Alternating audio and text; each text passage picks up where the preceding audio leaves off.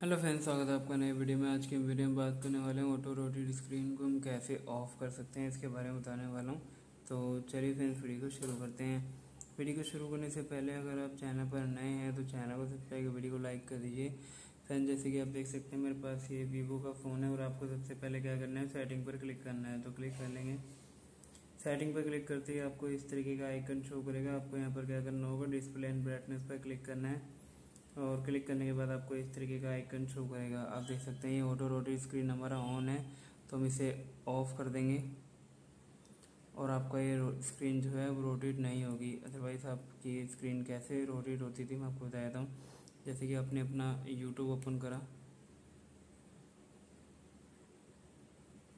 YouTube open करने के बाद आप देख सकते हैं यहाँ से इस तरीके से रोटेट हो जाती है। तो अब आप सेटिंग से जाके अगर उसे ऑफ़ कर देंगे पर क्लिक करेंगे और यहाँ से ऑफ़ कर देंगे तो आपकी जो स्क्रीन है वो रोटेट नहीं होगी। तो आप देख सकते हैं रोटेट नहीं हो रही है।